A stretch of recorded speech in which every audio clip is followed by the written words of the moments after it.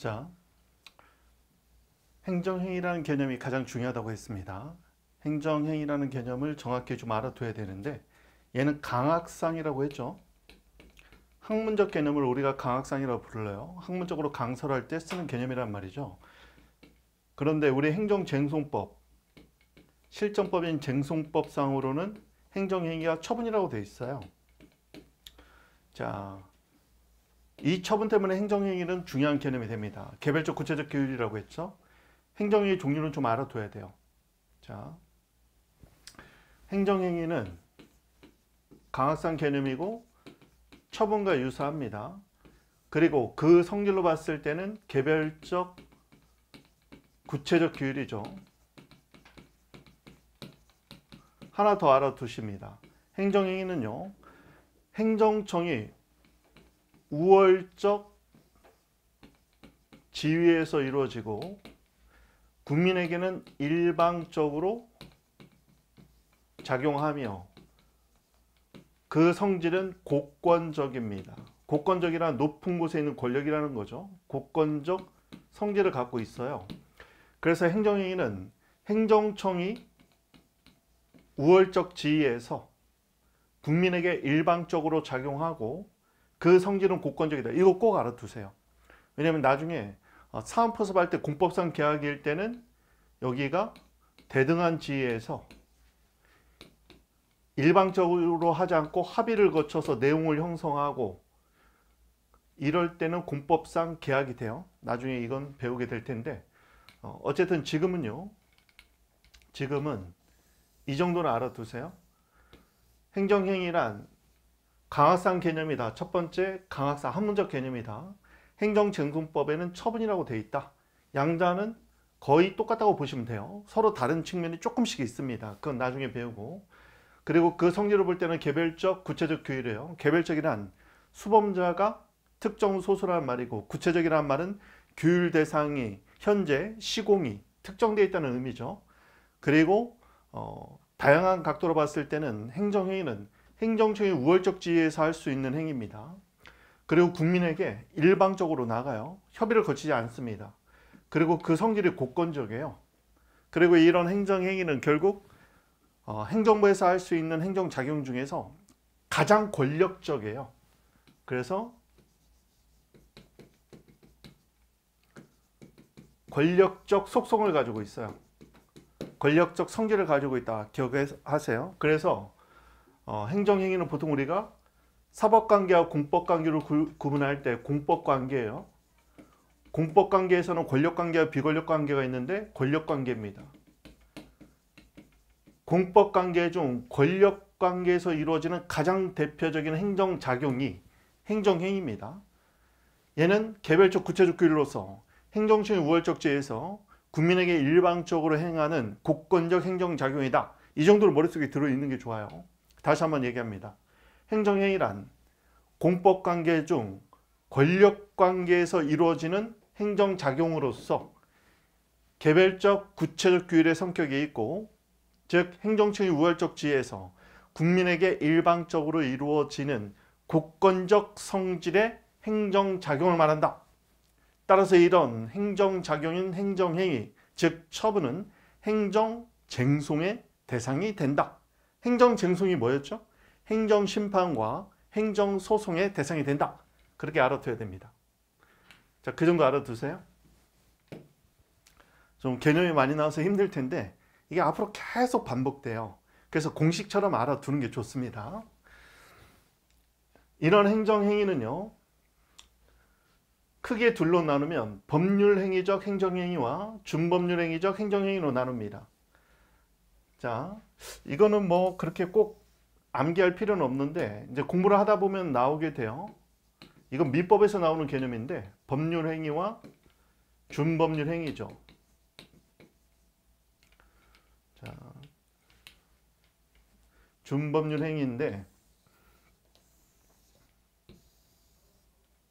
준 제가 글씨를 이렇게 못 쓰지 않는데 아, 여기는 미끄러워 가지고 준법률 법률행위적 행정행위, 준법률행위적 행정행위로 나눠지는데 양자로 구분하는 기준이 있어요. 이거는 뭐 그렇게 중요하다고는 보여지지는 않습니다. 보통은 정신작용 중에 의사표시를 요건으로 하면 법률행위, 의사표시를 요건으로 하지 않으면 준법률행위라고 불러요. 따라서 준법률행위적 행정행위는 의사표시를 요건으로 하지 않습니다. 그러면 의사표시의 정신작용인데 암기할 필요 없어요. 일정한 관념 또는 인식, 일정한 판단 이런 정신작용을 요소로 하고 있는 거고 얘는 법률행위는 의사표시를 요건으로 합니다. 이런 의사표시에는 내심의 일정한 법률 효과를 의욕하는 효과의사라는 게 있어요. 내심적 효과 의사. 여기서 말하는 효과는 법률 효과예요. 의사표시는 일정한 법적 효과를 의욕하는 그 내용이 담겨 있어요. 따라서 양자의 구별 기준은 양자의 구별 기준은 얘는 의사표시를 요건으로 하고 법적 효력이 예로 인해서 발생합니다. 법적 효과가 내심적 효과 의사에 의해서 발생해요. 그런데 얘네들은 내심적 효과 의사가 없잖아요. 그래서 얘네는 법률 규정에 의해서 효과가 발생합니다. 예를 들면 행정청이 2개월 영업정지 처분을 하면 이 2개월 영업정지 처분 안에는 2개월 동안 영업자가 자신의 영업의 자유를 행사하지 못하도록 하는 내심적 효과 의사가 있는 거죠. 그런 의사 표시를 요건으로 하고 있고 그러한 내심적 효과 의사에 의해서 2개월 동안 영업 영업이 금지가 되는 거죠. 그런데 준법률행위자 행정행위는요. 그런 내심의 효과 의사 없이 예를 들면 어, 불법 건축물에 대해서 언제까지 철거 안 하면 우리가 대집행하겠다. 일정한 관념을 통제합니다. 너가 한 달 동안 철거하지 않으면 우리가 대신 대집행을 하게 된다. 이렇게 알려줘요. 이걸 나중에 배울 때 대집행 계고라고 부릅니다.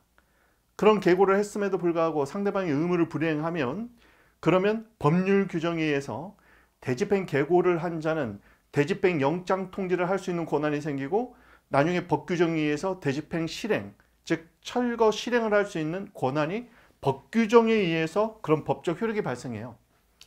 자, 개념만 알아두세요. 법률행위란 의사표시를 요건으로 한다. 준법률행위란 의사표시 이외의 정신작용을 요건으로 한다. 그리고 이런 법률행위는 의사표시 안에 있는 내심적 효과의사에 의해서 법률 효과가 발생한다. 준법률행위는 법률 규정에 의해서 효과가 발생한다. 따라서 누군가 물어봅니다. 법률행위와 준법률행위를 나누는 기준이 뭡니까? 그러면 첫 번째, 의사표시를 요건을 하는지 두 번째, 법률 효과가 의사표시에 있는 내심적 효과 의사로 발생하는지 법 규정에 의해서 발생하는지 결국 어떤 정신작용이냐 의사표시를 요건으로 하느냐 안 하느냐 법적 효과가 그 의사표시에 의해서 발생하느냐 안 하느냐 이 두 가지입니다. 개념만 알아두세요. 그러면 행정행위도 마찬가지입니다. 법률행위적 행정행위는 의사표시를 요건으로 하는 거죠. 그러면 일정한 내심적 법률 효과가 내심적 효과 의사가 있는 거예요. 즉 의사표시를 요건으로 한다. 의사표시는 법률 용어예요. 법률 용어. 의사표시는 내심에 일정한 법률 효과를 의욕하는 의사가 있어요. 의사 표시의 요건입니다. 하나의 요소예요. 얘가. 일정한 내심적 효과 의사가 있다. 얘에 의해서 법적 효력이 발생한다. 얘는 의사표시 이외의 정신작용으로 이루어져 있다. 관념, 인식, 판단 이런 걸 암기할 필요 없어요. 암기는 여기 있는 내용만 하면 됩니다. 법률행위적 행정행위는 다시 명령적 행정행위와 형성적 행정행위로 이루어져 있어요.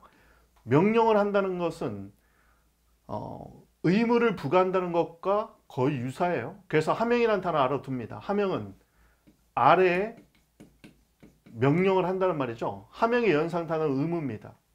하명은 의무다. 이건 암기가 돼 있어야 돼요. 답안지에 써야 되니까. 하명은 밑으로 명령을 한다는 겁니다. 하명의 종류도 알아두세요. 작보급수, 자기 하명, 부자기 하명, 부자기는 금지라고도 불러요. 급보하명, 수인하명 이렇게 이루어져 있어요. 자기, 부자기, 급부, 수인. 하명 대신 의무라고 쓰면 돼요. 자기 의무를 명하면 자기 하명, 부자기 의무를 명하면 부자기 하명, 급부 의무를 명하면 급부 하명, 수인 의무를 명하면 수인 하명인데 수인 의무를 직접적으로 명하는 건 시험에 안 나와요. 자기 하명의 대표적인 것은 철거 명령이죠. 철거하라. 철거는 일정한 행위가 필요하잖아요. 그게 자규입니다. 여기는 영업정지. 1개월 영업정지 처분이 나오면 1개월 영업정지 처분이 나오면 1개월 동안 영업을 못하는 부작위 또는 금지가 되는 거죠. 급부 의무도 많이 나오는데 각종 과세 처분 과세 처분이란 조세 부가 처분을 의미합니다. 과세 처분이란 국가의 조세, 조세 부가 처분인데 뿐만 아니라 돈 내라고 하는 금전 부과 처분은 다 급부 하명이에요. 수인 하명은 단독으로 나오기보다는 보통 자기 하명 등에 같이 붙어서 나와요. 예를 들면 철거 의무를 명했는데 말을 듣지 않으면 나중에 대집행을 수인해야 될 의무가 발생합니다. 이렇게 같이 따라온다고 기억하시면 되겠어요. 잘 알아두시고 이때 이런 금지 의무를 해제해 주는 게 허가예요. 금지 의무, 즉 금지 하명, 다른 말로 부작위 하명을 해제하는 게 허가입니다. 이 단어 기억하세요 다. 그리고 금지 의무 외에 자기 급부 수인 의무를 해제하는 게 면제예요. 근데 면제는 시험에는 잘 안 나오죠. 어떻게 보면 하명 의무로부터 이렇게 발언하는 거예요 지금 다. 그래서 의무를 명하는 명령적 행정행위라고 부르는 겁니다. 하명하고 다 연관되어 있는 거죠. 다음 형성적 행정행위는 일정하게 법률관계를 형성하는 행정행위인데 첫 번째는 인가입니다. 인가는 보충성이 있는데 지금은 개념만 알아두세요. 나중에 자세히 다 배워야 돼요. 기본행위의 효력을 보충해서 보충 플러스 완성시켜 줍니다. 따라서 인가는 행정처의 인가처분이 나와야 사인들끼리의 법률행위가 완성이 돼요. 보통 우리가 토지거래 허가를 받잖아요. 토지거래는 자유롭게 체결할 수 있습니다. 그런데 토지거래 허가 구역에서 어, 채권 계약을 체결하잖아요. 그럼 토지거래 허가는 자유롭게 토지 거래는 자유롭게 할 수 있으나 그렇지만 허가를 받기 전에는 채권적 효력이나 물권적 효력이 발생하지 않아요. 그래서 채권의 효력도 발생하지 않을 뿐더러 물권적 효력도 없기 때문에 이전 등의 청구권 같은 걸 행사하지 못하거든요. 이렇게 토지 거래는 자유로우나 토지 거래 허가, 그때 허가는 인가거든요. 인가를 받아야 법률 법률행위의 효력이 보충되고 완성이 돼서 효력이 제대로 발생합니다. 따라서 인가를 받지 않으면 효력이 없어요. 그걸 무효죠.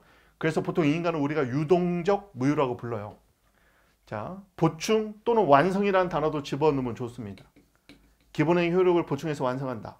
특허는 특별한 허가를 해주는 거예요. 설권성, 이 단어 정말 많이 나오는데 설권성이란 새로운 권리를 설정한다. 새로운 권리를 설정해 주는 겁니다. 이거를 이 설정을 창설 이렇게도 많이 썼어요. 창조해야 한다는 말이죠. 권리, 새로운 권리를 설정하는 걸 특허라고 불러요. 어, 대리는 보통 우리가 강제 집행 같은 거 할 때 또는 어, 경지 그 공매로 넘어갈 때 성업공사 같은 데서 이 대리를 해줘요. 어, 국가 채권 그러니까 만약에 조세를 어, 조세 납부를 지체 연체하면은 체납 처분 절차에 의해서 나중에 이제 빨간 딱지 같은 거 붙이잖아요. 그리고 나서 이제 경매로 넘어가는데 그런 일을 하는 게 나중에 보면 성업, 성업공사가 이 대리를 해줍니다. 대리도 시험에 거의 안 나와요. 면제도 거의 안 나오고. 얘는 꼭 알아둬야 돼요. 하명은 어, 사례풀이를 할 때는 개념 만약에 금전부가 처분이 나왔다. 그러면 급부 의무를 명하는 하명으로서 급부 하명으로서 명령적 행정행위다. 행정행위니까 행정위는 대부분 다 처분이라고 했죠. 예가 있기는 하지만 처분이니, 처분이기 때문에 항고 소송의 대상이 된다. 이렇게 얘기를 해줘야 돼요. 또는 철거명령이 나왔어요. 철거명령은 자기 하명으로서 명령적 행정행위이므로 당연히 행정쟁송의 대상이 됩니다. 이렇게 알아둬야 돼요. 자, 얘네들 중요하니까 꼭 알아두세요. 특히 나중에 허가하고 특허의 구별 기준 이것들을 많이 배웁니다. 그리고 허가 특허의 한 중간쯤에 존재하는 게 있는데 나중에 배워요. 이걸 예외적 승인이라고 부릅니다. 예외적 허가 또는 허가 대신 예외적 승인이라고 불러요. 예외적 허가 또는 예외적 승인은 허가 특허의 딱 중간쯤에 존재합니다. 그래서 명령적이냐 형성적이냐 뭐 논란이 좀 있어요. 어, 특허에 비해서는 명령적이고 허가에 비해서는 형성적 효력도 있다 이렇게 얘기합니다.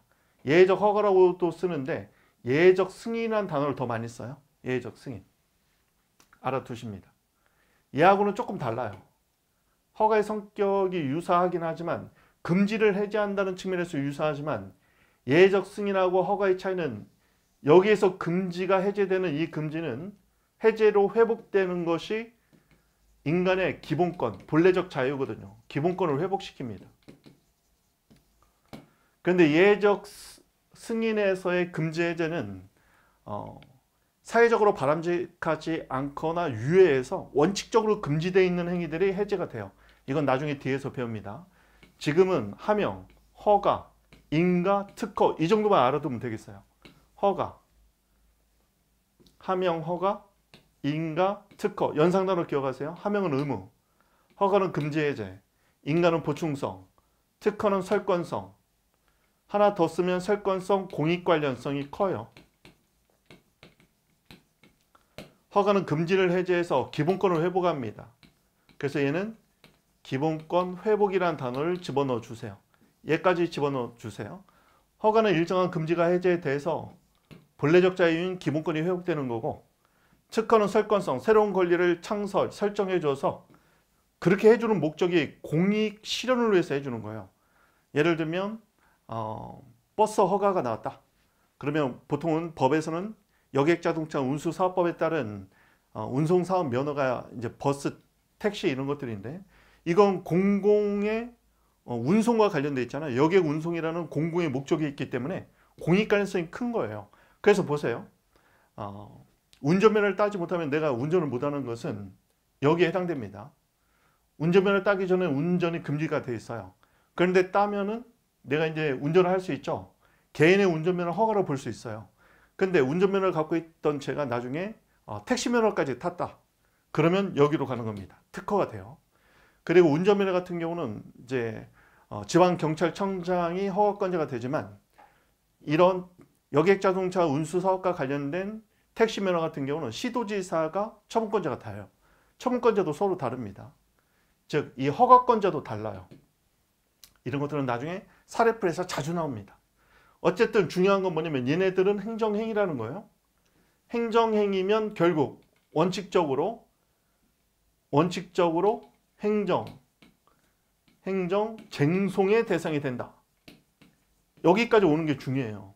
쟁송의 대상이 된다. 행정 쟁송은 둘로 나눠지죠. 행정 심판과 행정 소송의 대상이 된다. 그 정도 알아두십니다. 자, 다음. 그러면 어, 여기 보세요. 행정 심판과 행정 소송으로 이루어져 있는데 행정소송은 다시 항고소송, 당사자소송, 민중소송, 기관소송으로 이루어져 있어요. 자, 이 부분을 좀 더 배워봅니다. 자, 중요한 거는 맥락을 잡는 겁니다. 얘가 어디서 나왔는지 아는 게 중요해요. 자, 여기 보세요. 먼저 행정구제법이 있었죠.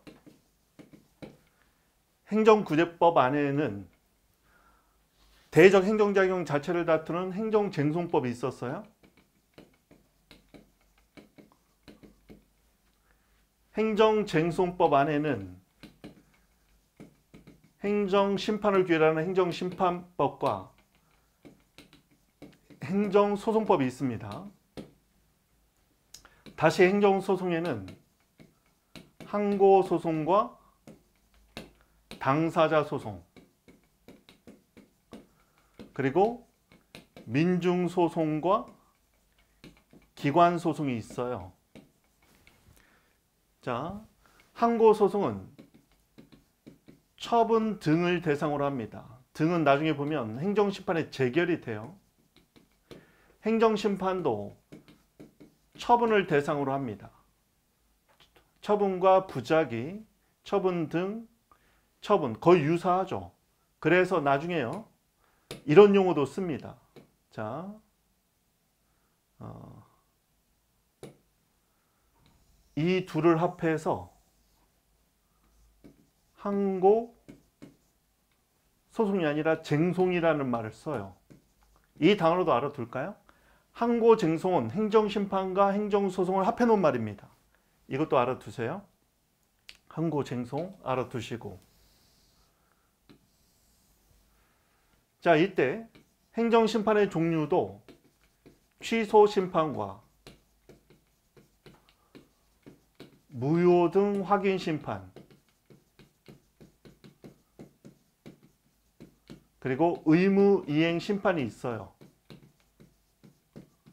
이거 나중에 시간이 되면 저절로 담게 될 거예요. 워낙 많이 나오니까.